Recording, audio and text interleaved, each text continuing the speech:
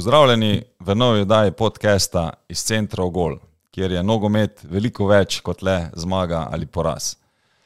Tokrat bomo oddajo snemali v Kopru, vidite za mano uh, lep razgled. Uh, moramo se zahvaliti našim gostiteljem, ki so nam omogočili, da lahko tukaj snemamo. To, so, to je Vila Molet, kjer imate na razpolago štiri čudovite apartmaje, zelo vabljeni, predvsem tisti, ki ste ljubitelji športa, saj tukaj eh, se, boste zelo izolirani od prometa in boste lahko upravljali razno razne športne aktivnosti. Za današnjo oddajo pa v napovedniku naj povem, da bomo imeli tokrat dva gosta. Enega poznate, to je dr. Samo Masleša, ki mi je med drugim tudi razložil, kaj pomeni molet in to je mali pomol. Uh, da boste vedeli, kam prihajate, Ne vem, je še kakšen pomol tu v bližini ali ni, samo pravi, da ni.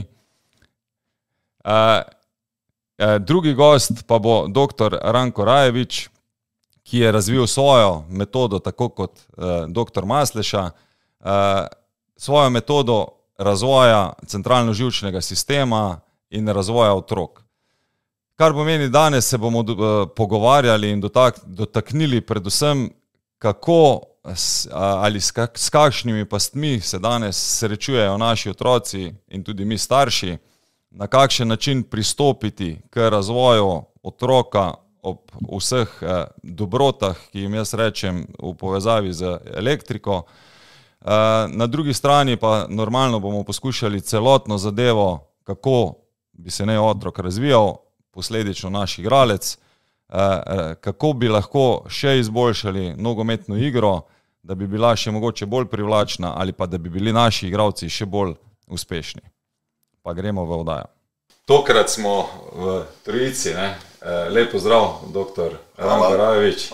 Še enkrat lepo zdrav, doktor Samo Masliša. Zdravljeni. Uh, veliko čast, mi ja moram reči, mi dva smo se kar lovila. Ne? Na koncu smo ja. ugotovili, da bomo mogli še kar enkrat narediti, kaj že na začetku, ker ja, časov, v, čas, v časovni stiski. Sam, samo si je zelo želel, uh, da skupaj naredimo to oddajo.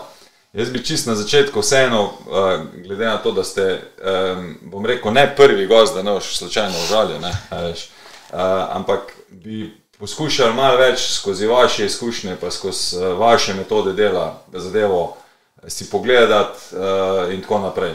Zdaj, v štartu um, NTC metoda, kaj to pomeni? Tako čist na kratko, ne? To je neuroznanost v vzgoju in izobraževanju in tudi neuroznanost v športu. To je primjena praktične medicine v pedagogiki. To je v par besed. Okay. Zakaj pa uh, Nikola Tesla? A, prvo je bio centar za nadaljene Nikola Tesla centar i tu sam štartao s nekim novim, nove metode su bile, potem je samo ostalo Nikola Tesla centar NTC, i to je zapravo bio neki istorija zgodovine, tako smo štartili kod Nikola Tesla centra, zdaj pa je samo NTC. Aha, ok, se, se pravi, zdaj ni več Nikola Tesla. To je samo, pa je, uvijek je, je to Nikola Tesla, uh, to je važno pomembno kad budemo govorili o REM fazi spanja, o, o tvorbi novih sinapsa, sinaptogenezi. Tesla je spao samo dve, tri ure na dan. To je sve pomembno, to bomo govorili danas o tem. Aha, ok. Uh, no, e vidi samo, o spanju smo se pogovarjali uh -huh. pred, pred odajo tudi. Ne. Ok, Uh, jaz, zdaj, ko sem pr pripravljal oddajo, mi je uh, ena zanimiva um, teorija prišla uh, naproti. Ne? Se pravi, da od živih biti, ki se, gibam, ki se gibamo, ne, je glavna razlika ravno to, se pravi, uh, živčni sistem. Ja, res, rastline nemajo gibanja in nemajo nevrone. To pomeni, da živijo biti, ki imajo gibanje, imajo nevrona. Najkompleksnejši nervni sistem imamo mi po toj analogiji mi smo živa bića za kretanje. Ili da prevedemo, možgani, mozak se razvija gibanjem. I to je to. Ako nema gibanja, imamo problem. Mi danas imamo problem ne samo svoj, nego srednja Evropa. 50, 60 i 70% tog prvi razred imaju ravna stopala. To po meni nema gibanja. Pre 30, 40 leta znam bilo je samo 10%. I onda su mi studenti tu u Kopru predavan dali CD da vidim neki film i to je bio naravno Kekec, on je prvi ako ste gledali ja, Crno-beli, pazite, od prve sekunde do zadnje sekunde svi su bosi. Pazite, to su Juli Skala Petrenata, svi su bosi. Mi kad smo bili otroci, mi smo na more, na plaži bili bosi. Danas samo da vidimo na plaži otroke, svi imaju sandale. Jedne sandale za plažu, druge za vodu. Mi ne idemo bose, nema gibanja, nema kretanja. Koja je posljedica? Pa nema dobrih veza, povezave su slabe. I onda dobijemo probleme koje imamo, i tučitelji vide, disleksija, disgrafija, diskalkulija, ne mogu da sede, ne mogu da pišu, ne mogu da čitaju, da beru, ne mogu da računaju i vidimo da je svaka nova generacija u prvom razredu slabša, slabša i slabša. E, to je gibanje. I onda su i delere razliskavao koliko 5-6 letni otrok ima gibanja na dan. Gradski otrok, šola, prvi razred mogoče 2 km, 3 u šoli, potem domov nič, 1 km, 2 maksimum. To je na dan mogoče 3-4. Onda smo delili raziskava, imali smo kamp raziskava, dali smo onaj sad za maratonce, od 9, znači bio je zajtrak, doručak, od 9 ujutro do 5 popodne, cela grupa ide oko 20 pa i više kilometara. To pomeni da otrok... To, to ne pomeni mora... da su trenirali, oni su se igrali. To je bila igra, znači gozd, idu u šumu, sakupljuju neke stvari, poligoni, učilnica nad prtom, znači to je bilo gibanje skozi igru i to je bilo 5-20 km. Ako imamo na dan gradski otrok 5, ako ga pustimo na ravu 5-20, to pomeni da naš otrok ima u sak dan manje 20 km. Pa onda računajte 10 dana, 100 dana, eno leto, 10 let, koliko je to kilometrov. To je to. Ja, je, pri nas je bila ena raziskava dr. Starca narejena, ja, ne, če poznate, je, um, so spremljali, kjer otrok živi, kakšen je njegov krog, krog kjer se lahko giba brez, brez kontrole. Ne. In so gledali štiri generacije. Ne. In so ugotovili, da naj, se pravi, moji starši so imeli nekje šest, njihovi starši nekje deset km. Rečemo, da jaz sem imel, mi smo imeli nekje 3-4 km, danes imajo pa 250 metrov. Govorimo o nekontroliranega, da, da starše v njih zdrave. Ne. I če dobimo razvoj možganov, sinoptogenezu skozi gibanje, to pomeni da naš otrok nema gibanje i oni ulaze u, u te kognitivne težave. To su na Harvardu delili raziskave. Američki teneđeri imaju smanjšene duboke dele možgana, to su bazalne ganglije. To pomeni da je to kognitivna, kognitivne sposobnosti su smanjšene. Kaj to pomeni? Nema gibanje.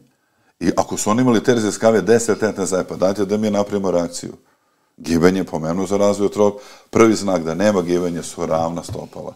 I kad predem, po celoj Evropi predem, i pitam kolege pedijatre, kako je moguće da ne uzimate više otisak stopala, to je nekad bio standard kad se ide u prvi razred. Pa kao nema potrebe, svi imaju ravna stopala. Pa ima potrebe, to je prvi znak da nešto nije u redu. Nema gibanja. Kaj je drugi problem? Nema gibanja. Drugo, slabi su im noge. Naš otrok prvi raz je deo kao neko delo u šoli, znači mi kad delamo onaj prvi test po čep, oni dođu do pola i propadnu. Oni nemaju mišići da zadrže po čepu, oni propadnu. Ako su im slabe noge, pa slabi su mišići i taj deo srednji karlični pos, već ulaze u problem držanja tela, kičma, hrbtenica i jako puno problema posle zbog toga ide. Vi imate te svoje centre v 17 državah. Ja. Ne? Pa rečemo, ko delamo, ko delate vi primerjavo med temi državami, je kaj je razlik med njimi potem? Ja mislim da u Srednje Evropi imamo svi iste težave. Disleksija, disgrafija, ravna stopala, moramo da imamo edukaciju prvo za starše, potem za vrcanje za šole. Ali onda imamo problem, starši nemaju čas, oni mi daju odgovor da nemaju čas da, pa jeste lakše starš da da otroku telefon, TV, video igricu, nego da ide negde u parku, u gozdu, to je problem. Pa, pa je to res, da to, je, je to ozbiljan res, posao. Ja, ampak je res, da nimajo časa, ali si ga ne vzamejo čas? Ne vem kaj, ja, pa jaz imam četvro, deset, štiri otroke, ja sam morao da imam časa za njih. Ja. Ko imate otroka, to je to ozbiljan posao. Nije to ko sto let nazad pustite otroka da se igre, to je to. Danas nemamo gde da pustimo otroka, moramo mi da vodimo mm. račun gde je naš otrok. Ali ja, prvo to govorimo, gibanje je pomemno za razvoj možganov i to da svaki starš ima u glavi da je to za zdravega fiziološka zdravega otroka šestletnika 20 km na dan. E onda kako da mu damo 20 km ako ima 3-4 jure a, mobitel, TV? Znači, ovo je zamka. Nisam protiv novih tehnologija, ali mora da ima granica, me dalje to ura, ura pa pol, ali pazite, ja mislim da je već ura puno za našeg šestletnog otroka. Mogoče kom je ko smo bili mali risanka, 15-20 minut neka serija, neke malige i to je to. Ampak je zanimivo, da tisti, ki so odkrivali te stvari, S tvojim otrokom niso dovolili do 14-15 Evo leta, vidite, da so. pa znaju oni koliko je to škodljivo. Znači oni su nama dali da naš otrok ovde ima svoje vreme, jer pazite, dve, tri, štiri ure na dan, to je nekom profit. A oni za svoje otroke to ne daju. Pa vidite kako su ove. Pa znaju oni da je to škodljivo, da je štetno. Zagotovo. Se boš ti kaj vključil zraven? Eh, Za enkrat. Ja, meni je to zelo zanimivo, jaz uh, gospoda Rajoviča precej časa že spremljam. Uh, meni je zabavno ravno to, ta ploska stopala, kot pravijo, oziroma platvus. Zdaj, mi, recimo, v določenih športih še vedno hodimo precej bosi. In to mogoče so borilni športi. Sam izhajam iz juda in raz, mogoče za marsikoga bilo nenavadno, kako lahko iz enega športa športniki grejo kasneje v druge športe in postanejo izjemno dobri. In mogoče to so tudi tisti športi, kjer se več hodi bos. In res, otroci so bistveno več hodili bosi, uh, zunaj se igrali. Jaz ne vem, recimo, zakaj tudi pri nogometu ne damo recimo, ma, nekoliko lažjo žogo, pa damo otrokom tudi poleti, da je možnost, da igrajo bosi. Tega jaz nisem nikjer zasledil, oziroma bistveno premalo. To bomo prišli do staršev spet, ja, imeli smo mi v novem mestu, uh, bil je semen za vrstec 5 in 5, sad imamo i drugi vrtec v novem mestu. Ampak oni su po seminarju me poklicali da bi delali neki nov projekt. Bosih nog na okrog. Uh, kad je temperatura 20 stupnji ili već, onda su otroci bosi. I ko je pravio problem, kaj mislite? Ja, starši. starši. Onda su me poklicali, pa sam imao tamo predavanje za starše, pa je bilo sve u redu. Pa svaki dan, pazite, ako je uh, lep dan, 20, 5 i 20 stupnji, pa oni su bosi, tudi izgojiteljice su bose. Pa mi smo bili bosi, no, do pre 30-40 let svi smo bili bosi. Ampak tudi športno vzgojo smo mi imeli Pa, bosi. to ne vem, ampak evo prijatelj iz Splita, on je profesor matematike. Ja. On je tu 50 imaju neki let i on ide i dan danas od, od svog stanovanja do plaže bos. I zovu ga domorodac. Kao primitivan ide bos. Ali on ide ono malo zemlje između trotari ceste, on tu ide bos. I ovako mi govori. Ne vem, 30-40 let nazad, svi smo bili bosi, samo su turisti iz Češke nosili sandale. Tako su prepoznavali Čehe. Kaže, a danas svi nose sandale, ali opet poznam turisti iz Češke. Kažem, kako ih poznaješ? Pa kaže, sad imaju sandale plus čarape nogavice. I onda pitam prijatelj iz, iz Češke, Tomaš Blomeštan, ima dva otroka, idu tu na more, Jadransko, i bilo je naravno uprašanje, Tomaš, jedno uprašanje, prosite, vi kad idete na plažu, ili imate sandale?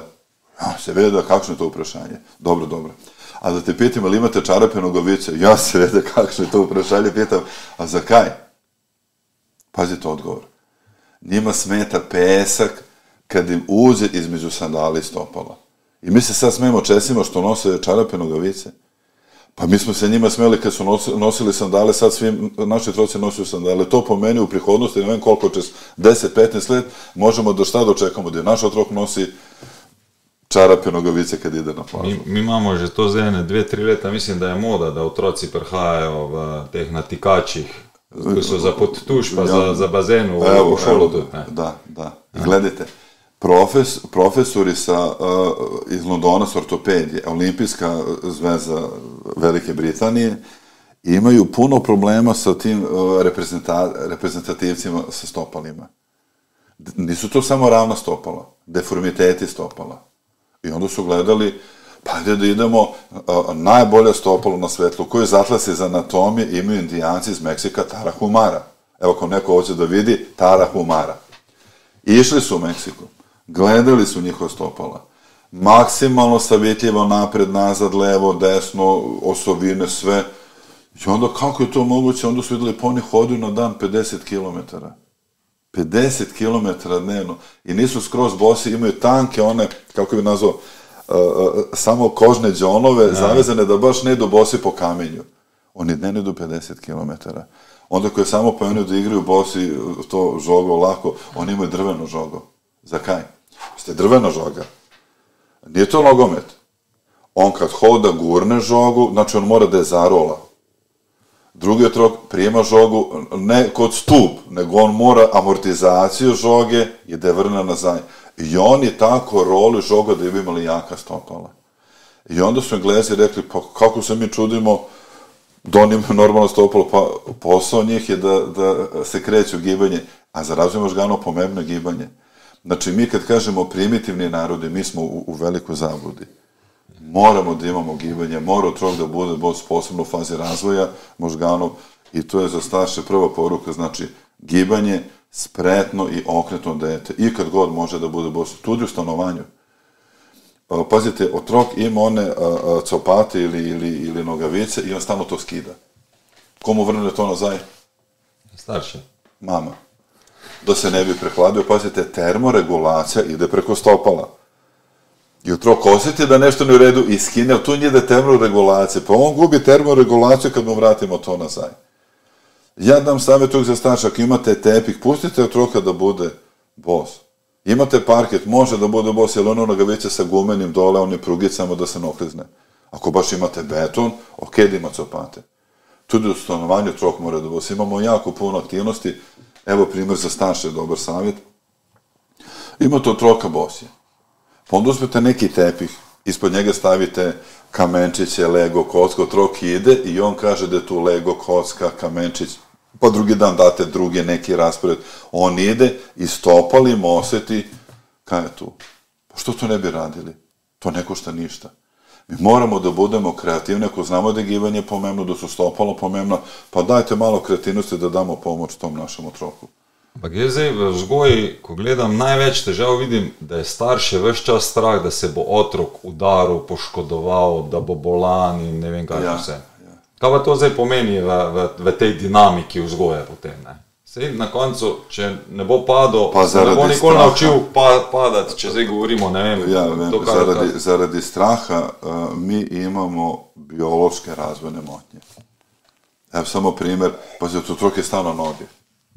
I on ide i padne. To je normalno, učili smo s fiziologije da otrok mora da padne 500 krat, da nauči da padne na jedna ruka, druga ruka, na laka da se okrene, mi mu ne damo da padne. Onda imate one, ja ne znam kako zove povod da, za, da vodimo bebu. Ja znate ime kako se to zove? To su neki kajševi za prohodavanje. I starši drže tu otroka, otrok hoda pada, oni ga dignu, on idu. I vidio sam u parku neke pitam ih, pa šta će vam to? Pa kao piše tamo ona u kutija, ono, upute za uporabu da je to dobro, da otrok ne padne, da ne bi imao strah od padanja, pa će da prohoda. Kažemo, on mora da padne 500 krat. Mi danas imamo otroka u vrtu, to znaju zgojitelji. Pa će to otrok ovako padne kao daska, ovako, ovako drži ruke pored sebe ili raširi kao krila.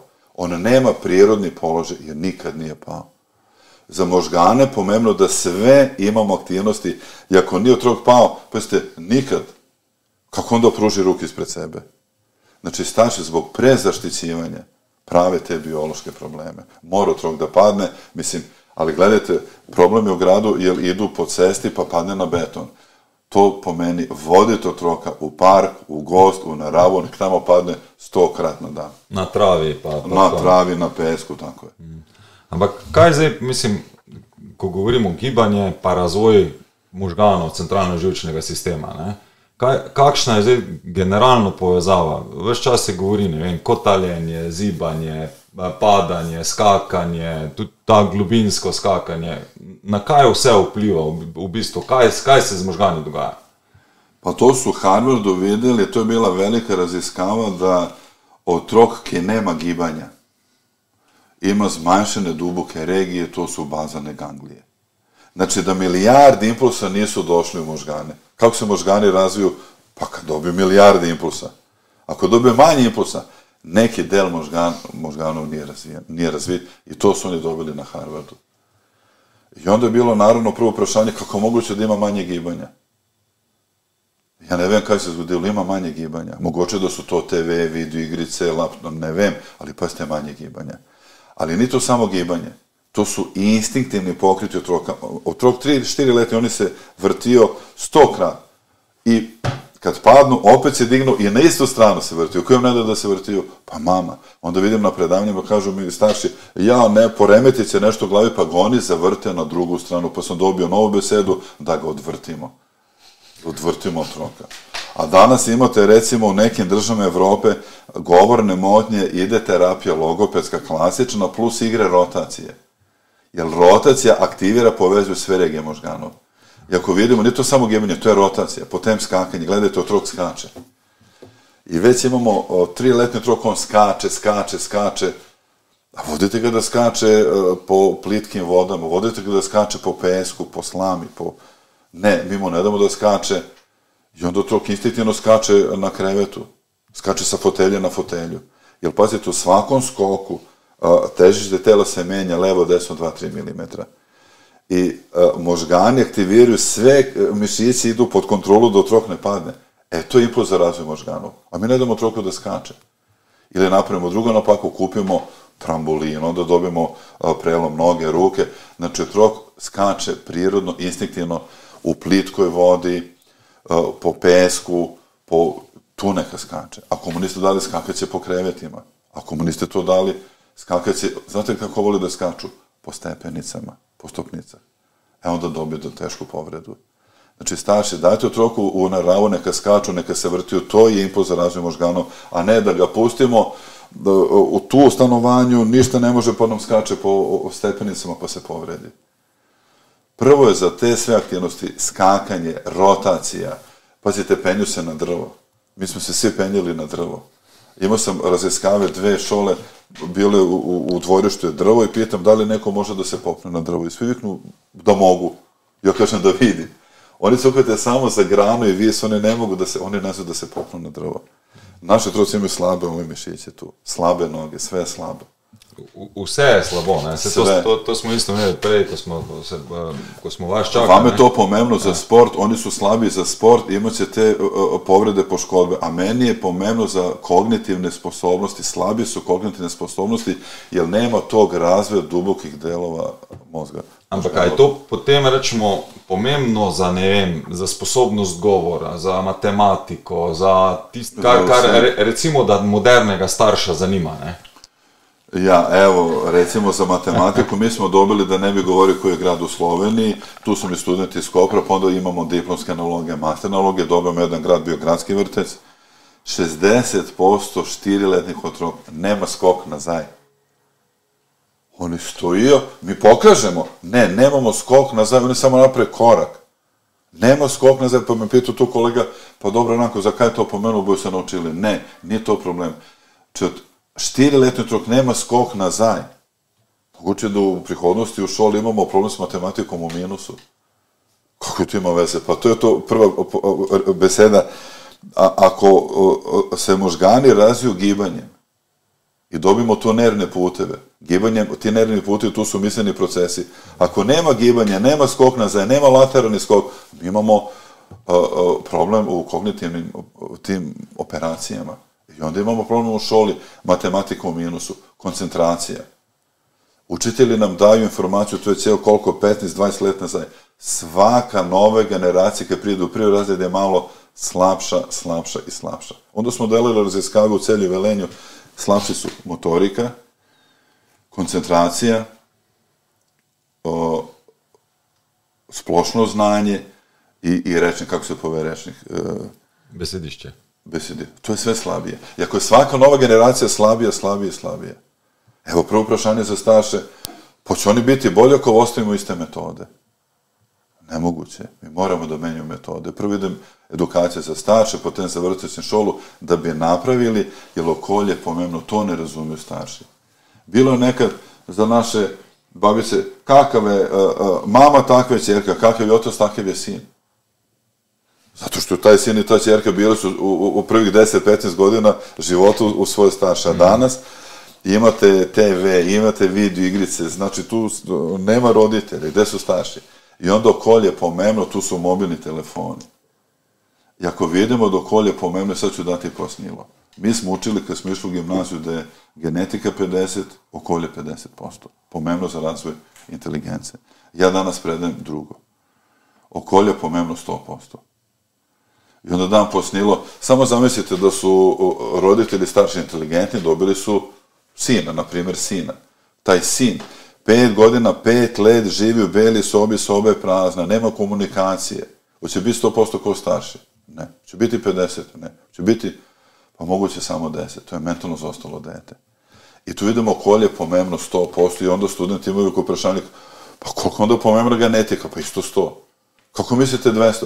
E, to je to. Ne može da se meri. Genetika je pomemna 100%, okolje pomemno 100, jer razvoj genetike zavisi od okolja. A mi smo učili 50-50, sad vidimo da je 100, 100. I ako imamo spremembe okolja, pa mi moramo da reagujemo da menjamo metode i za vrtici za školu da ne bi imali problem u prihodnosti. Ampak zdaj, če gledamo mi otroka v osnovi, si hotel ti kaj reči? Ne, ne, se poslušam. Če gledamo otroka v osnovi, ne, ali pa ljudi, nas generalno, vse mi smo si praktično 99,9, pa še verjetno nekaj zraven procentov, vsi v istem izhodišču, ne, genetskem. Kar pomeni, eh, kar zdaj jaz, če prav razumem, je zunanji vpliv pomembno, kako bo telo reagiralo, ker to pa sem že tudi eno parkrat tu v oddaji povedal. Ne? Ja, evo ga, još telo, se, te, telo se vedno v bistvu prilagaja. Od okolja odvisen razvoj tela. Evo gledajte samo rastline. Ako imate seme, genetski zdravo, i stavite u slabu zemlju, nema svetla, nema svetlobe, hoćemo dobiti biljku. A ima genetski potencijal. Znači, okolje je pomemno 100%. Samo kad vidimo kad je ekstreman primer da pustite otroku u belu sobu, kaj bomo dobili? Nič. Ja. I, I zaradi toga je pomenuo za staše, okolje pomembno 100%. Najveće promjene okolje su mobilni telefoni. Nemamo dokaz u medicini, ali gledajte, već znamo da modra, modra svetloba blokira epifizu. To je mali organ, to je glandula pinalis. Ona daje hormone za sinaptogenezu, za, za, za sinapse. I pazite, kad mama koja je trudna, noseča, buduća mama, gleda u telefon, ona već sebi daje modru svetlobu ako ima prespanja i već ide slabe produkcija melatonina za razvoj uh, fetusa.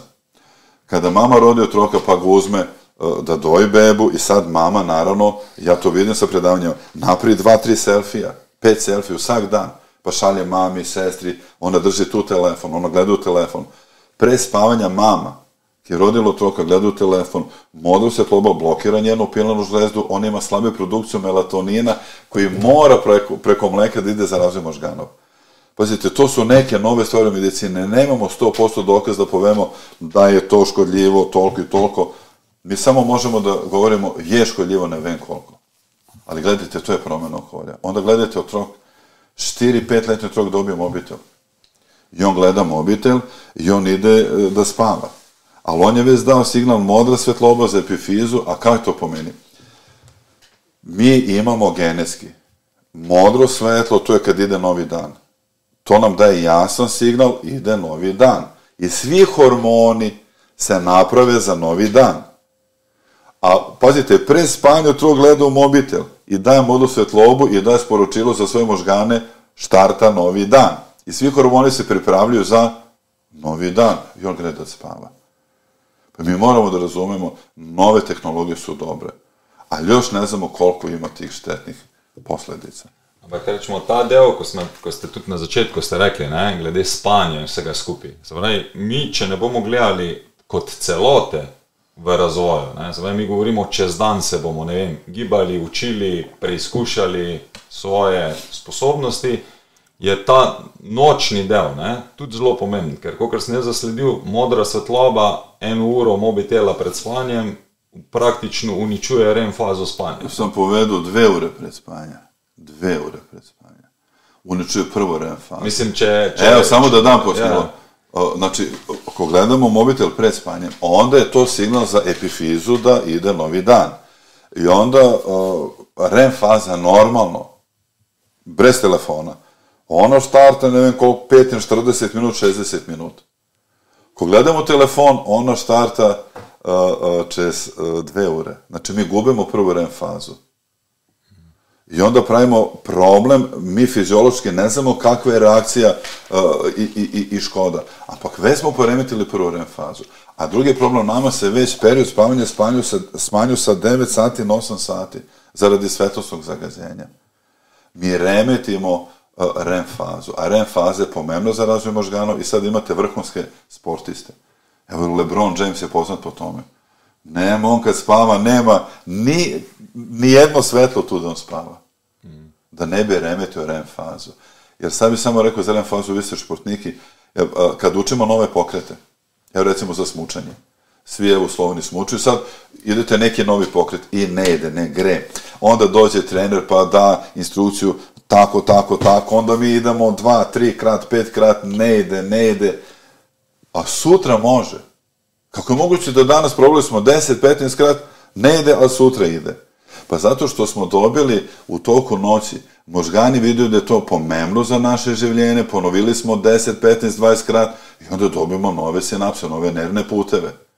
I onda sutra ide. Integracija pokreta, sad smo naučili i do vreme fazi. Pa kako mladi športnik da, da dobi sve te integracije ako ima svaki dan mobitel? Sad sam imao, radim sa reprezentacijama i sa nekim timovima koji su prva ligi i evropski prvaci, da ne govorim, evo, e, ekipa koja igra Evrokup u košarci. Poznati tim iz Srbije. Pa oni imaju borbu sa igračima da uzmu mobitel pre utakmice. Pa oni nose telefon da pred utak ovako ga gledaju. Pa kako mi da očekujemo u vrhunskom sportu neke promene da budu bolje ako su oni već u, u, u telefonu do pred utakmice? Znači mora da dolazi neki pomoćni trener da im uzima telefone dva sata pre utakmice. Mi postajemo zavisnici od telefona, moraju ljudi da shvate ovo kao droga. Ampak zdaj, jaz sem, ko gledam, uh, tudi kar sem se pri, v tej pripravi oddaje, ne? ko sem gledal, vi se ukvarjate večinom dela ali pa to, kar dela NTC metoda, ne? se ukvarjate nekje do 12 leta. Nekje, nekje, Ja, ja. CCA. Ne? Ja. Za, zakaj dva, do 12. leta? Zakaj ne potem naprej? Lahko tudi naprej, ampak možgani imaju o, konec tega povezovanja leva, desna polovina do 12. leta. I gledam da uradimo intervenciju dok je taj maksimalni razvoj možganov. To je osnovna škola šesti razred. E sad imamo puno tih naših učitelja u Sloveniji i Srbiji, pa smo onda ajde produžili i do konca osmega razreda. Ali pravi intervencija, ako hoćemo da pomognemo našom otroku, je do 12. leta. Mislim sad, evo, dela mi je do 15. ali u, u prvi je bilo da idemo dok nemamo taj konec razvoja, povezivanje leve i desne polovine. Ker, ker na koncu možgani vseeno se še naprej razvijajo. Ne? Ja, ja, In se razvijajo seveda. nekje do 25 let. Ja, ja, ja, pre, prefrontalni korteks, to je res. Ampak ta glavna povezava ide do 12.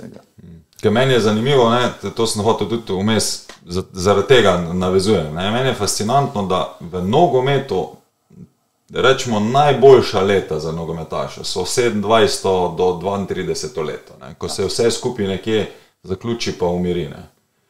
A, a, O, imamo intervencije za starije. Sad, e, kad sam, evo, idem već neke reprezentacije, olimpijski komitet, klubovi, sad sam i ekspert e, rukometne federacije Evrope za neuroznanost u sportu. Znači, možemo mi kod seniora, ali mora da ide trening sa opterećenjem, to njima teško. Kod troku dan takav trening, to za njih igra. I otrok skoz igru to dobije na treningu. A za senior je to teško. Evo samo jedan primer test. Bili su mi iz Barcelone, Rodrigo i Mark, to je škola Barcelone, sad oni su, kao mi smo poznati, mi kad imamo trening, imamo mislim na procese da vidim, pa, pa ok, dobro je, može i boljše, i sad oni, a, Ranko, prosimo te, dajte nama tvoj test. I bio Mark prvi, kažem, dobro Mark, i bila je zatvorena prostorija, bila neka linija črta, recimo 5 metrov, i kažem, dobro Mark, idemo, skačeš na eni nogi 5 metrov, potem na isti nogi nazaj. Ne 5 metrov, nego 2 pa pol. Nemoj hitro, nego normalno, kod balerine, elegantno, i on skače tak, tak, tak, tak, tak, tak. Ne znam koliko je bilo, 7-8 sekunda. Kažem, dobro. Idemo sad test da vidimo koliko imaš uh, kognitivnu sposobnost da u gibanju misliš. I kažem, u svakom skoku, uh, da, znači u svakom skoku da mi da, recimo, neke kad dobro zna, države Evrope. Si pripravljen sam, idemo, kažem, države Evrope, i on skače. Espanja, Portugal, Inglaterija, Đermanja stane, gubi ravnoteže, lovi ravnotežu, onda ide dalje, Serbija, Kroacija. Znate koliko je skakao? 5-20 sekundi. I on gleda, ne razume. Kaže Rodrigo, mogu ja. Ajde Rodrigo i ti. Pa to su treneri Barcelona za te škole Barcelona. Evropi. Ide Rodrigo, a on je mislio da će da do- dobije države Evrope. Ne, ne, ne, idemo prvo prazan test. Isto bilo 7-8 sekundi, kažemo, idemo divlje životinje. I on skače, skače. 8 i 20 sekundi. Evo, svaki trener, svaki učitelj to može u da vidi. Ako mi u gibanju nemamo miselne procese, ili ako štartamo da mislimo, nemamo gibanja, to je već problem. Znači, mi smo izgubili tu sposobnost. Naš otrok, ako bi dobio tu nalogu, znači dobijemo da skače 35 i 30 sekundi. Onda sam delao sa vrhunskim, sa najboljima na svetu, recimo Novak Đoković, dobio recimo 7-8 sekundi, a kad je dobio da nabra države to, dobili smo 10 sekundi. Pa za Makar kaj je to? nego 5 i 20. Znači, Don u gibanju može da misli. Pravi, E, to je pomembno. Pa ima on tak način treninga tudi? Nema. Zato je najboljši.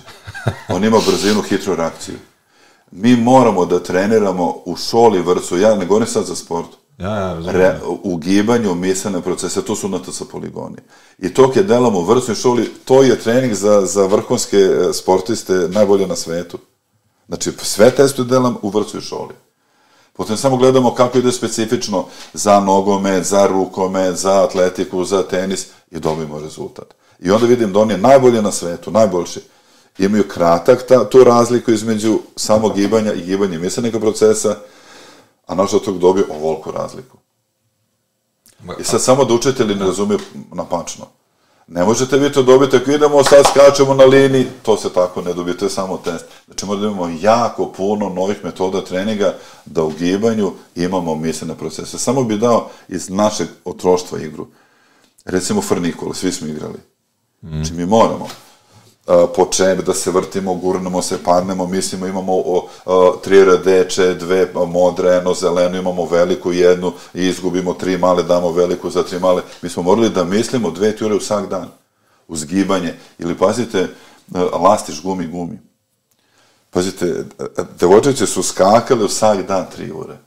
U svakom skoku mora da misli koji je sledeći moment. Ima ravnoteže, ima rotaciju, ima aktivna stopala, mislene procese. Mi smo imali igre gde smo imali gibanje i mislene procese, a naš otrok to danas nema.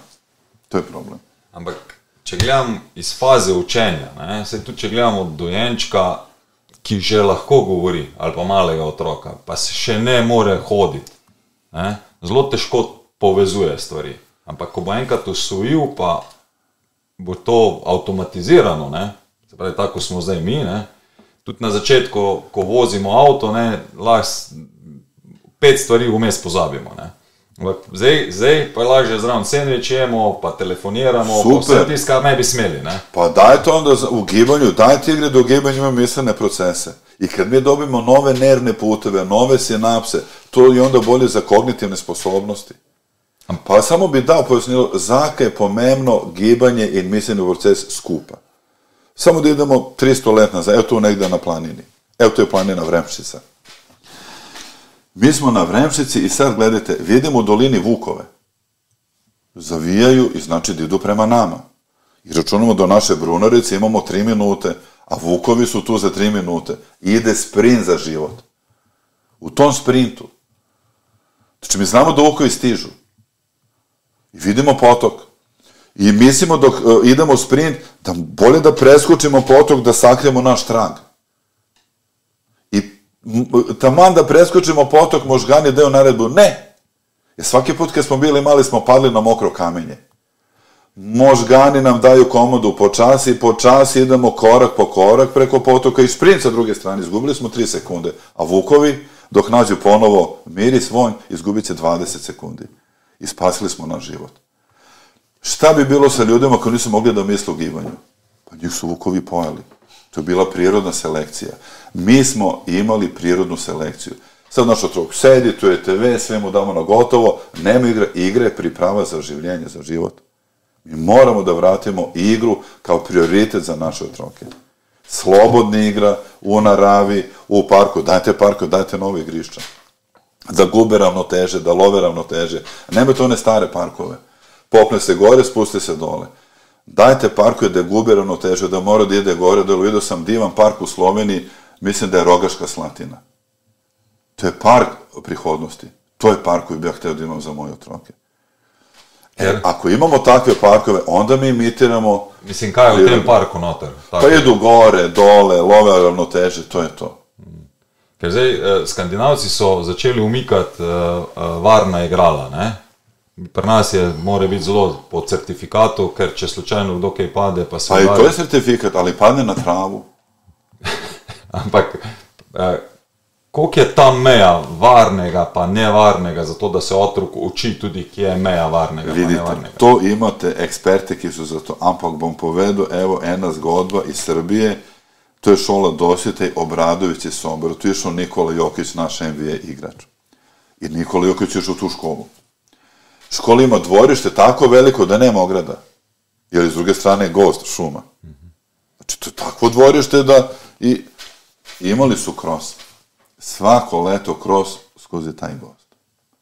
I onda me zvao ravnatelj da imaju problem da su starši dali peticiju da ne može kroz da ide kroz šumu. Zakaj?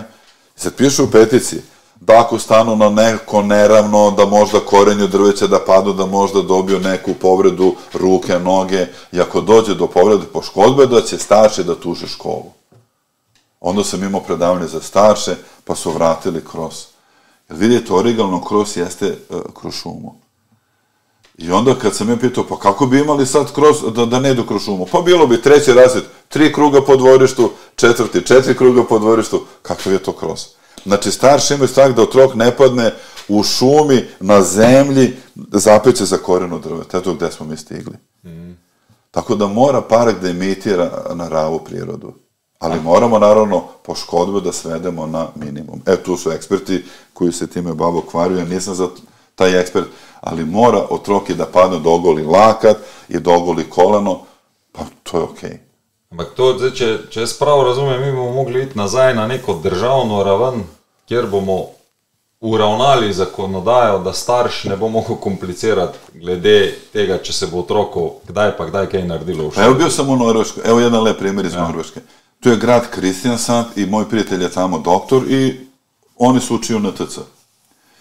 I bio sam en teden u SAK gde imamo predavanja, praksa i onda su mi zadnji dan povedali, nisam ni uprašao, da mogu da uzmem fotoaparat da slikam vrteci na troke. To tamo ne smete. Ako se vidi policija, fotoaparat ispred vrca, odmah vam ciže policija. Znači, oni daju dozvolu da slikam i sad idemo taj dan do vrca na parking i od parkinga do vrca možda je ne znam koliko, 50 metrov. Ali tamo kiša, deš, pada drugačije, nije kao kod nas. Pada ovako nekako sa strane. Sad imam i one kišovine dežnike, ali to sa strane, onda vetar zadova, okrene mi dežnik, oni ljude nose kabanice tamo, šta će njima dežnik. Ja. Ulazimo u vrte, skinamo ono sa sebe, gde su otroci, kažu, pa igraju su u dvorištu. Prvo sam pomislio, pa možda je pokriveno dvorište, bogata je država, tamo bo- Ja. možda ima pokriveno dvorište. I dođemo, taj zid, to je stakleni zid, 20 metara. Svi su u dvorištu, igraju se, kiša pada ovako sa strane, oni imaju male kabanice, imaju nešto se dogovaraju, igraju se, sa lopaticama neki pesak stavljaju kamione. Ja gledam i prva reakcija, pa se roditelji starši ne bune. Ne, ne razumemo kako mislite preko kod nas šta bi bilo, ne samo u Srbiji, nego i u Sloveniji, u Hrvatskoj. Pa starši bi re- revoluciju. Kažu oni, ne. Pa moraju da nauče na kišu na dež. Pa kako da nauče na to ako im sad ne damo kad su u vrcu? Starši su dobili, to je plan i program Norveški, oni su potpisali da prihvataju plan i program Norveške. Onda mi je prijatelj rekao, Ranko, nije to ništa, oni idu svak dan, idu u šetnju do parka, recimo tri letni otroci idu, ne znam, 20 minuta, igraju se 10 minuta, 20 minuta nazaj. Štiri letni, 40 minuta do parka, igraju se 20, 40 nazaj. Znači idu svak dan, ako je sneg, ako je kiša, hladne, oni sedu na taj kamen i pitam tog prijatelja, je doktor, pa se ne prehlade. Pa kaže, da li tako razvije imunitet? Znači on ima potpuno drugi pristup do, do otroka nego mi. Moramo da gledamo druge da malo učimo. Koji su njihovi zakoni, pa i oni vole svoje otroke. Neko bi Ja, mislio, oni ne vole otroke. Kako ne vole svoje otroke? Ampak jaz doskrat rečem, da pri nas v šolstvu ponavadi en starš v bistvu naredi problem in potem zaradi enega starša imamo ne vem, tisoč otrok, ki jim, jim bomo prikrajšali neke normalne uh, dobrote ali pa razvoj. Ne? Pa to je bilo u Somboru, za kroz to smo imali vrte s pedenj ped, da bosih nog na krov. Nije to bilo puno, to je bilo dva, tri roditelja. Nije bilo njih puno. Sve ja, sve. I rekli su, ako stane bos, možda neko ide pored dvorišta, puši pa će baciti, ne znam, cigaretu koju se neće ugasiti, pa otrok na to stane nogom. Ili je tu neka pčela. To je bio strah. Ali to nije racionalno, to, to je iracionalni strah. Onda smo imali predavanje, edukacije za starše i dali su dovoljenje. Mislim da moramo da radimo edukaciju za starše, da ih naučimo kada je dobro za otroka i da oni prihvate te neke metode. Mislim, ja kažem, pa nije problem ako otrok padne. Znate kada je problem? Ako ne zna da padne. Mm. E, to je problem. Pa pustite ga da padne, da se vrti, da počnemo ga spremiti za, za živo, za življenje. Ok. Bi ti, bi ti kaj se vključil to zraven? Uh, ja, dejansko zelo pomembno je, da damo sploh možnost otrokom, da padajo. Ker mi imamo dejansko v našem šolskem sistemu, učimo košarke, nogometa, skoka v daljino, višino, vse te stvari, ne znajo pa tiste stvari, ki je zelo pomembna in s katero se vsako gibanje zaključi. Neki pristanek, amortizacija ali pa padec. In dejansko, ko nimajo izkušnje s padcem, pridejo na neke igrišča in se tam poškodujejo. Ker zanimivo, ravno največ poškodb v celem šolskem sistemu so seveda padci. In mi pričakujemo, da bi otroci kar to znali, ne damo jim pa možnosti, celo včasih jih onemogočamo pri tem, da bi te stvari izvajali. Zato je pomembno jim dajati te možnosti. In naši možgani imajo tudi potrebo po tveganju. In če otrok ne tvega, ne razvije teh mehanizmov, tudi miselnih procesov, in ko bo enkrat prišel v situacijo, ko bo moral tvegati, se ne bo znal pravilno odzvati in bo prišel do poškodbe. Ravno zato, prej smo govorili o skandinavskem sistemu. Skandinavski sistem omogoči postopno tveganje otrokom, da znajo te stvari tudi nadzirati in ko enkrat prijejo v to situacijo, da je nevarno, znajo tudi pravilno se odzvati. Če teh situacij nimaš, si praktično boss in go in prideš dejansko do te situacije in pride do hudih poškodb. In po eni strani bi mi radi otroke zavarovali pretirano, po drugi strani pa naredimo ogromno škodo, ne pride do razvoja, ne, ne oborožimo jih znanje in zato dejansko prihaja do bistveno več poškodb. Torej, damo jim varna igrišča, posledica je več poškodb. To je ta težava, po mojem mnenju, tudi. Ampak zdaj, če bi šli zdaj na neko idealno, celotno zgodbo, ne, kaj bi zdaj mi rekli ne vem, staršem, da, bomo, da se bodo otroci normalno razvili? Kaj, kaj bi ne to sploh pomenilo od jutra do večera, čez noč, vse skupaj, se pravi, da se vse skupaj zapakira? Ker zdaj vidimo, ne, ni pomembno samo gibanje, pomembno je verjetno tudi komunikacija. Ker to, zdaj, kar si ti govoril, na, je meni uh, fascinantno. Otroci, jaz pač poučujem na šoli, tudi na, zelo velikrat ne znajo preprostih težav ali pa konfliktnih -huh. situacij med sabo več reševati, ker so navajeni, da bodo to reševali. Ali starši, Tako. ali učitelji, vzgojitelji, kdorkoli drug. Ja. In samo še prehajajo, reče, učitelj, samo me je nekaj naredil. Ne. Uh -huh. Pejdi pa se dogovori. Se pravi, tudi te, te stvari so pač problem. Ne. Ampak kje je zdaj? Uh, ker ne, normalno nekdo, uh, ki je 4 ure na dan pred televizorjem, verjetno ne govori veliko in ne bo Nema socializacije. ne bo niti Tako. znal govoriti. Nema Baš... komunikacije, nema socializacije. Ja. Najboljši prijatelj je plišana lutka medvedić. Mm. Nemaju oni komunikaciju. I pazite, naš otrok nauči da odmah dobiju sve iz dana. Mm -hmm. Ko poželi to, mama mu kupi. Ne, ne, ne, to nisam hotu, hotu, mama mu kupi. Pazite, svaki vikend dobio novu igračku. Mm. A, hoće to, evo to, kaj se zgodi? Mi smo ga naučili da sve dobije odmah i sad, o, izdaje, tek sekunda. I onda, e, ko pride moment da neke ne dobi, frustracija visoka. Prag tolerancije nije nula, nego minus pet. I dobijemo onda agresivno troke. Pa kako onda komunicira? Nema komunikacije. Drugi problem, imaju video igrice, hitri da obdelava tih sliki i onda tu se dobije problem da možgani hitro delujeju, ko mora da bere knjigu, to je njemu dug čas. Uh -huh. On nema koncentraciju 5 minut, 15 minut. To starši mi govorio kad imam ta predavanja, pa ste u troku šesti razred sedmi. Oni se učiju 15 minut, 20 minut, pauza. Nema fokus. Onda ide pauza ena ura. Onda ide opet učenje 15 minut i to je puno. Jer njegovi možgani deluju hitro i njemu je tu sve po časi, dug čas, pa kako da mu pomognemo?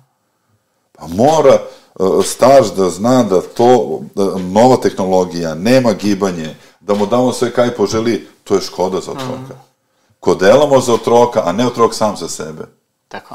Ako gledamo na dug čas, To je problem za otroka. Ampak, ampak a kaj to zdaj pomeni, da bomo mi morali narediti program, kaj, kaj bo otrok počel čez Pa dan? ne, evo, pa evo, samo dam par primjera. Ali to, starši, ako to razumiju oni sami, ne da sad se učiju prva metoda, druga, peta, to ne. Ja. Nego da naučiju proces, pa boju sami delali. Evo moj čerki, evo, dobar je primjer. Ali ali samo eno, eno kar, Ja. ja. kar, pa če prej rečem. Ne? Ker meni je fascinantno, ko se pogovarjam s kolegi in rečejo, ne morem spraviti otroka prej spat kot pred 10-11 ur. Pa ni zvečer." mogoče, to bom povedal zakaj. To ni mogoče. Bom povedal zakaj. Je mogoče ali ni mogoče? Mi smo vsi Zdaj pa hodili, ne, mi smo, pa ne, bom povedal, to ima uh, fiziološko pojasnilo. ampak mi smo hodili prej spat. A bom povedal zakaj. Okay. Evo. Znači, to da mi damo za starše navodila, metoda prva, druga, peta, to ne gre, oni moraju da razumiju proces. Da razumiju kaj je pomembno i da ima odmah reakcija. Evo recimo, momak čerke Iva bila je mala. I sad ona, naravno, ide ta faza plazanja. Ja je pustim, recimo, tu su dve fotelje, kauč, e, zid i to je njena teritorija tu su neki prepreke, blazine, jasno, znači on ide preko toga i volio neku malu žogicu, žogica bila i on ide do nje i moja mama je bila i gurne da se Iva ne muči. Kaže, mama, pusti je. Onda sam ovako naprijed, uzeo sam konac za vezu, za, zalepio za žogicu, Iva, taman dok ti ja povučem. Taman dok ti ja povučem. Pa bolje da pusti 30 sekundi nego 30, sad razumete. Ja, E, to je posao za nas starši. A sad ovo za spanje. Zvala me koleginica pedijatarija. Ranko, daj da vidimo, da, imaš pet minuta, imam, kaj je bilo, kaže, ne ve mogoče da moja čerka ima ADHD. Koliko je stara? Štiri letna punca, kako ADHD? Pa kaže mi, legnemo da spavamo i uh, da uspava otroka. I kaže, ja zaspem, ona je budna. Ona je budna do koliko, do ne vem koliko je najst. I sad vidite, bilo prvo prašanje. Koliko imate kilometara na dan? Pa ne vem za kaj je to pomembno. Pa vidi koliko imate na dan. Sad na računu mogoče dva, tri. Vidi ovako. Najveća, ogromna energija e, e, za otroka koji je star od 2 do 5. Za kaj? Ta energija nama biološki data za gibanje, jer tu ide aktivni razvoj e, sinapsi možganov. Znači, energija je pomembna za gibanje da se dobije razvoj možganov. Ko nemamo gibanju svak dan 5, 10, 15 km, gde je ta energija? Pa u otroku. Može da zaspe 8? Ne, nije do 11. Znači, mi smo bili prirodno utrujeni. Mi smo imali, pa evo ja sam, onaj kamp, 5 20 km, 6 letni otrok. To moguće da smo imali mi 30, 5 30 na dan. Mi smo ostali bez energije i onda čim je mrak, mi spavamo. A naš otrok je pun energije, pa kako da zaspe 8? Ne može ni do 11, to je problem. Sam jaz bi tu še na eno stvar opozoril zraven. Ne? Ni samo to. Če jaz izhajam tudi, pač, mislim, da smo zelo podobno vsem da, dali neko otroštvo čez, kaj smo mi jedli. Danes, je danes, danes vode praktično ne pijejo več otroci. Vse je neki z okusom, gazirane pijače in vse ostalo. Jaz sem v šoli tudi glede teh ADHD-ov in tako rekel, ne, Kako je možno, da je otrok pride v šolo, zjutraj je pojedel že vrečko čipsa, spil je že, če ni energetske pijače, vsaj en, en pol litra Coca-Cole, in zdaj on pride v šolo, kakšen bo. Jaz, če dam svojemu sinu pol kile čokolade, verjetno, da ga bom lovil po celem stanovanju. Ne. A ni da to mi, tudi- a mi njima tudi- damo pune energije, a nema gibanja. Mi smo mogli da pojedemo čokoladu, imali smo gibanje. Ja, sam, nema. sam smo bili na igrišču tri Pa ure. mi smo bili na igriču, pojedemo čokoladu, igramo se dalje, mi smo, mi smo trošili na dan ne znam koliko kalorija. Pa koliko naša troši, troši kalorija? Ako mi idemo, pazite, imate sprint, e, igra, ja sam igrao košarku, tri ure igramo. Idemo, skačemo, idemo, trčimo, šprint, kratak šprint, skačemo. Pa koliko je to, vi bolje znate koliko je to kalorija. I mi pojedemo čokoladu. Nama treba energija, a naš otrok nema gibanje. Onda znači da on ne sme da jede ni e, e, hranu sa puno kalorija. E, to isto edukacija za starše, to je druga tema. Mm. Kaj naš otrok jede, to je isto pomembno. Zdaj prijemo do, ravno zato sem rekel, ne, se rekel, koliko se bo gibal, kaj bo jedel in kdaj bo hodil spat, verjetno. In koliko bo spal. Kdaj ne. bo hodil spat? To pomeni da je potrošio energiju. Ja. I onda imate prirodno, on ide da spa kad padne mrak. Pa mi smo spavali, je tako bilo, kad padne mrak. I to je to. Pa koji naš otrok ide da spava? I onda kažu starši, idi spavaj 8 sati ili 9. Pa on ne može da spava, ima energiju.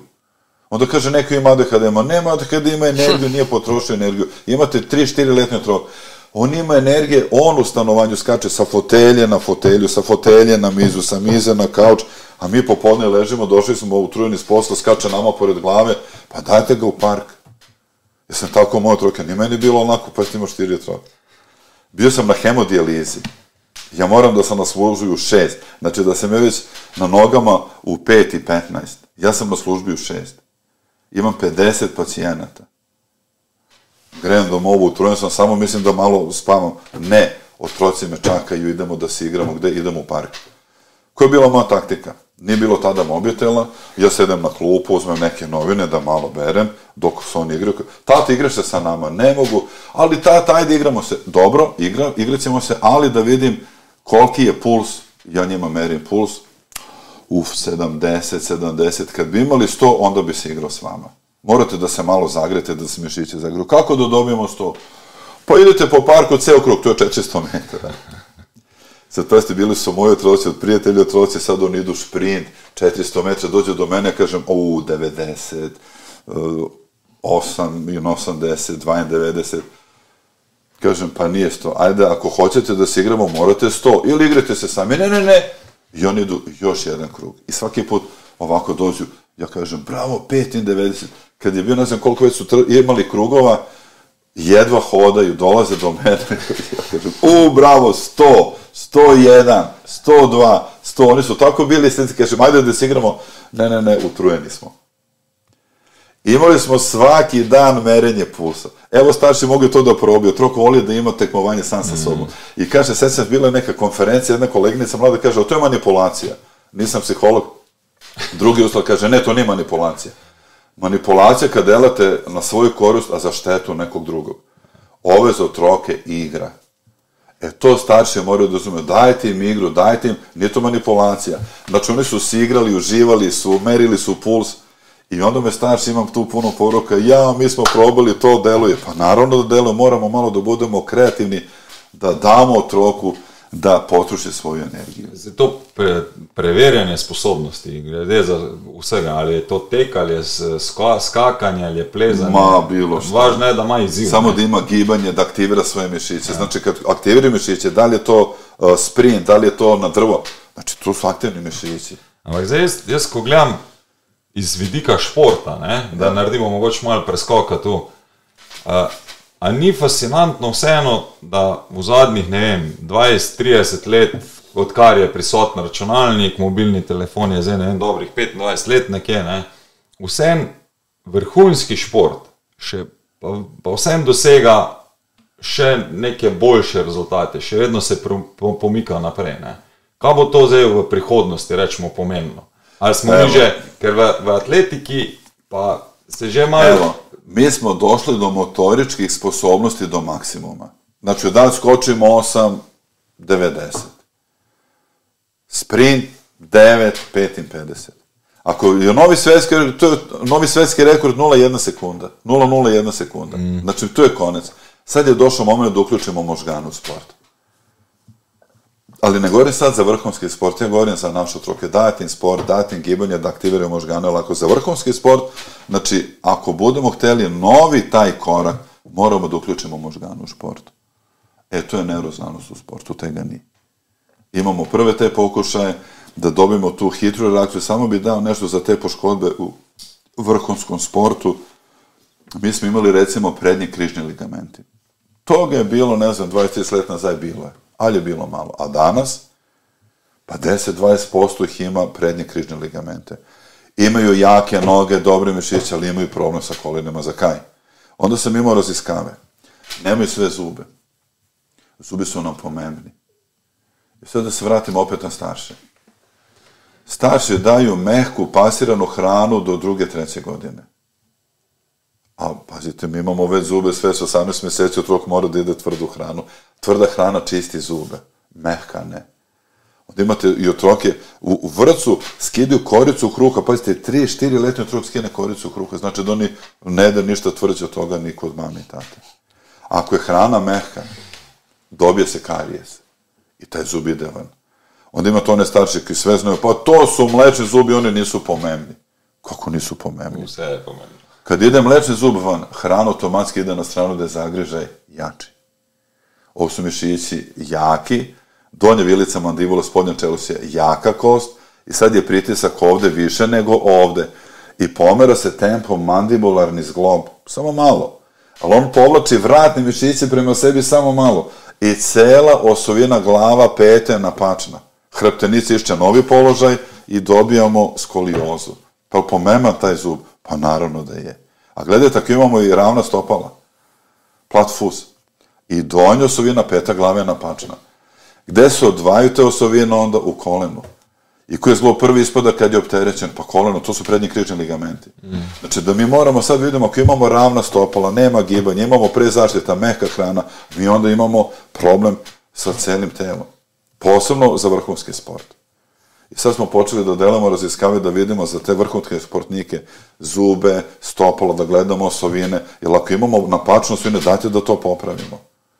Pa neki idu vrhunski sport da ne bi imao poškodbe. E pazite, neko, to je škoda, on trenira, idemo nogometaš, trenira u sak dan, dva krat, to je njegovo življenje, on je možda završio neku gimnaziju. Pa dajte onda da bar igra taj nogomet koliko, 10-15 godina a ne da dobije po škodbu 23, 24 i koristi kako da dele. Dajte, kako već spremate za sport, da uzimate te neke parametre, ali opet ne bi sad puno za vrhunski sport, dajte za ove sve naše otroke. Da naš otrok ima normalno otroštvo, da imamo starše ki imaju u glavi da je prezaštita problem. Prezaštita stvara biološke probleme. Ja, ampak vseeno, zdaj, če sem prav razumel, bi, bi rajši ostali v pogovoru znotraj ot, otrok, ne toliko na, na vrhunski šport. Ja. Mene pa vseeno zanima, glede ali opet, na... ali vrhunski šport dobi probleme, jer vrhunski šport, ko imamo te napake starše, pa i taj otrok prije do vrhunski sport imamo problem. Nema hitrost reakcije, nema hrptenicu dobro, nema osovine dobre, ima poškodbe prednje krične ligamente, znači da opet idemo i do vrhunskog. Samo da neko ne razume. Nama je pomenuo, mi smo u šoli, da imamo zdrave, prave otroke, pa neki idu vrhunski šport. Ali u vrhunskom športu moramo da vidimo kaj je neuroznanost. Kaj se zgodi, zakaj imamo te poškodbe. Mm. Ker, ker ko pa je, v, v glavnem podcast je vsem tudi usmerjen v ta mal vrhunski del, ali pa kako bi lahko razvil otroka v neko vrhunskega športnika. Ne? Zato me zanima, nekaj, če smo mi telo nekje natrenirali do nekih limitov, ne, sploh tak šport kot je nogomet. Se pravi, ima pa veliko prostora, ker pri nas je pa še vedno zelo deljeno, se pravi, ta tehnični del, taktični del in potem U, kondicija. Pa ne. to je pomembno hitrost reakcije. Ravno e, to je neuroznanost. Ko ja dobijem športnika, evo recimo Michael Jordan, on je govorio, kad je pomembna utakmica tekma, svi igrači su kao usporeni slow motion. Kako je to sposobnost? Onda Igor Milanović, kad je bili Jugoslavije, finali Italije, Jugoslavije, Vatrepolo, 4-4, produžetak 5-5, produžetak 6-6, produžetak 7-7. I on prima loptu 5 sekundi do kraja. To mi je govorio Nenad Manolović, bio trener Jugoslavije. Kaže, Igor diže ruku i sad nas to, ajde, a ne, a znate kaj se Igoru dogodilo? Da bo u zadnji sekundi vrgo. Ne, on je vidio da su svi usporeni. On je digao ruku, svi kao u Matrixu. I kaže on, gledaj, svi stoje. I kaže, on ih cima i, i a, rukom, i latom, i ramenom i prevari beka, koji proplivava, ostaje golman. I kaže, gol, pa ste, Igoru to treba kao 20 sekundi, 3, a to je samo 5. On kaže, gleda u golmana, golman stoji, stoji, i on zna da golman može dugo da stoji. I ako golman potone, ne potone skroz u vaterpolo, malo i opet se vrati. I on vidi moment, golman polako ide dole, dolazi bek da pokrije golmana. I u tom mikrosekundu, mikrosekundu, baci loptu u žogu i da gol. I odjednom se vraća u sadašnje vreme. Ko njemu zustavio vreme? I tu dobijem. Željko Rebra, čem je igrač. Kaže, kad je pomemno, on samo vidi on vidi prolaz između dva igrača i tako je dao neke koševe, kao da brže odreaguje. Znači da najbolji na svetu imaju tu reakciju. Sad je samo pitanje, da li trening može da pomogne da to dobiju drugi? E, radim na tome. Te metode sad razvijem. Znači, mislim da trening, opterećenje znači kognitivno u gibanju da možemo dobiti taj fenomen. Jer kad ja na treningu opteretim mislone procese plus gibanje, dobijemo nove nerne puteve. Kada dođe meč, kada dođe utakmica, igrač nema mislone procese, a taj del možganov je aktivan. I dobijemo uh, možgani hitro deluju i znači da je vreme usporenije. Pa je to, kaj po, po povezavi mislite, da tudi s tem, da je vse specifična situacija in je celo, ce, ce, kot telo, kot celota drugače aktivirano, a in skozi hormonsko bazo in potem, da se tudi zaradi tega ga, bolj... ali to je, jaz sem bil na hirurgiji, na, kad sem bil v bolnici. Sam ja, vidim, en, eno bi še, ja. pa, pardon, ko prekinjam. Ker me, ko pogledam pa vse skupaj, ne, je pa razlika med temi najboljšimi, pa med tistimi, ki niso tako dobri, je pa potem samo zavest ali prepričanje o tem, da so oni sposobni nekaj narediti. Ali on je dobil samo zavest, samo podobo, kad vidi, da ima tu hitro obdelavo, da je boljši od drugih, on dobije onda samo zavest. Kad vidi da, da drugi ima tu hitru reakciju, mi, pa ne, mi nemamo tu o, o, sposobnost. To se razvije i onda gledajte kako sam to povezao, ali to da razume svako ko ste gledali filmove, bio sam na hirurgiji, dođe pacijent, ima uh, više preloma, ruke, noge, jedve živ. I njih govori, do momentu sudara da mi je cel život prošao, sto slika su celo življenje. Pa sam imao prijatelja koji je to doživao, on je vozio motor baš iz Kopra, Thomas Automatic. To je bio popularan motor. Ali je što 30 na sat. Za, za kaj je Leo Koper popularan, ne? e, vidi, on vozi Tomos, on je mali Tomos, i njih su dva na motoru i išli su na basket. A. I sad vozio motor i vide prijatelji sa strane, okrenu se, koji koš da zazmo, nekad je morao koš da se zazma ako ćemo da igramo basket, danas su tereni prazni, to je druga priča. I oni kažu, pazite, mi se okrenemo, auto je tu, kada se zgodilo? Dok su vozili, auta nema. Kad su se okrenuli, auto ih obilazi i parkira. Uniknu, pazite, okrenem se, kaže, Peđa, udaram u taj auto. Ali ta sekunda, on je spustio glavu, zagrlio prijatelje koji vozi motor, I on kaže, ja čekam udarac. I čeka udarac, i čeka, i nema ništa se ne... I on pomisli, pa možda sanjam, i odjednom, bum, krenu slike života. Pa ne znam, kad je umro deda, prvi dan u školi, prva devojka, idu slike, idu slike, i vidi slika kako on sedi na motoru, i ide ta slika, gotovo, nema više ništa. I on pomisli, pa to je to, to bio život, gotovo je. I odjednom, nema straha. Kaže, osjeti ogromna tuga, jer shvati da će da pogine i da će mame sese da plaču. Udari i preživi. Ovi koji su gledali sa strane kažu to je bilo manje od sekunde, a njemu izgledalo kao 15-20 sekundi. Ko je njemu dao to vreme? Mozak, možgani. Kako je to moguće? Pa koja je glavna funkcija za naše možgane? Evo, Lidvice čistio krv, srce pumpa, a možgani, to organ za preživljavanje, preživetje. I ako imamo nešto tako opasno, sve regije se aktiviraju. I onda mozak ne prima 25 i 20 slika u sekundi, nego 200. Znači, ta hitra reakcija mozga, nama je kao da smo usporeni u filmu, da dobijemo čas da napravimo reakciju. E, to se događa u prometnim nesrećama. Ali onda se vidio da to neki vrhunski sportisti imaju. I to je to. Kako da to aktiviramo skozi trening, kroz trening, e, to sad radim na tome, već imam prve rezultate, da ne bi o tome govorio, Ja to sad čekam, imamo sad konferenciju. Sve, se pravi, ko bo objavljeni rezultati, lahko ne. Ne, pa lako i sad, znači imamo metodu treninga za sve sportove.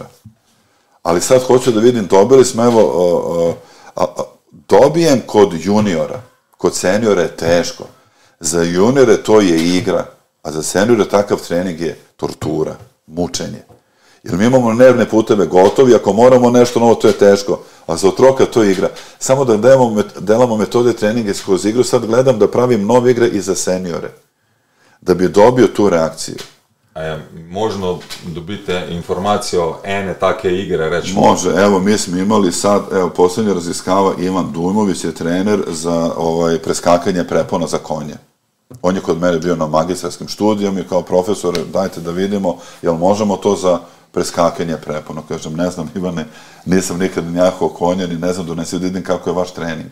On donese trening, da vidim, sniman. I njegova učenica je stara 15 godina, 15 let. Kaže, ona je talenat. Znači, ona tako se namesti kad ide konj, razume sve, kaže, vrhunski je talenat, ali kad ide uh, uh, taj uh, neko takmičenje, tekmovanje, ona preskoči prvu, preskoči drugu i sruši treću. Pitam za kaj? Nema vremena da se namesti. Hitro između druge i treće, hitro u stvari između prvi, drugi, drugi, treći isto, ali ona, on ne može da se namesti. Onda ide preskoči četvrtu, sruši petu. Znači, kao da nema vremena da se namesti. Kaže, dobro Ivane, onda smo delali. Spustili smo te prepone na zemlju. Znači, nisu još dignute. Onda mora od prve do druge da izgovori nešto po, recimo, sistemu mijesolnih klasifikacija. Znači, koliko ima koraka, pet ili šest, ona mora u svakom koraku da izgovori, recimo, on je čeka na prepreke, kaže, životinja, ona kaže, tigar, nosorog, lav i ne stigne. Onda, recimo, između druge, treće dobije barve, rumena, zelena i ne stigne. Onda su radili serijacije, asocijacije, da nabram, znači, ona ima problem. Tek za mesec dana je uspela da prođe kad su na zemlji i da izgovori svih pet besed svaki put i onda smo dizali polako te prepreke. I Ivan me zvao, to je znači već dva meseca, kaže, profesore, dogodilo se čudo, pitan, kaj se zgodilo? Pa kaže, imali smo neko takmećenje, nije bilo ni pomemno i ona radila bez greške, bez napa. Kaj se zgodilo? Pa kaže, ona je dotrčala treneru. Pito, šta je? Pa nekom je zaustavio vreme. Kako zaustavio vreme? Pa kaže, preskočim prvo nikako da dođe druga prepona. Ja se namestim nikako i preskočim drugu nikako da dođe treća. Znači da smo uspjeli, pazite, 15 letni trok, dva meseca treninga. E sad, Elan, sa seniorima njima će trebati možda 6 do 9. E, zato je to meni pomenuo da te nove metode treninga idemo sa juniorima. I onda da dobijemo rezultat, a ne da ja sad sa seniora koji ima, koliko je star, 5, 20, 30, mm. teško to ide. Koji bi senior uh, sebe stavio svaki dan 15-20 minuta da radi takav trening? Nije to lako. E, tisko želi napredovati, ne? Da, ali onda mora da učimo. Nema mobitela, nema modre svetlobe, ide da spava u 9, a onda dobijemo rezultat. I danas imamo problem, neće športniki, pa sam rekao sad košarkaški klub iz Beograda, prva liga, bili su na, na vrhu Evrope, igračima, pomoćni trener uzima telefon pre utakmice.